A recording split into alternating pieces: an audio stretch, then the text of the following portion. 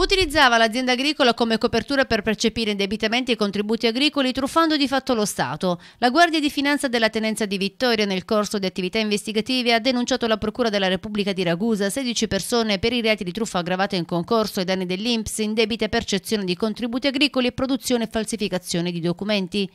L'organizzatore della truffa, un 34enne di Vittoria con specifici precedenti penali, avvalendosi di atti falsi ha creato ad hoc una ditta fantasma utilizzata allo scopo di certificare le assunzioni fittizie e le giornate lavorative dei propri dipendenti. Il modus operandi del giovane 34enne ha consentito agli stessi dipendenti della ditta fantasma di poter disporre dei requisiti necessari per la richiesta e per l'ottenimento dell'indennità di disoccupazione agricola elargita dall'Inps.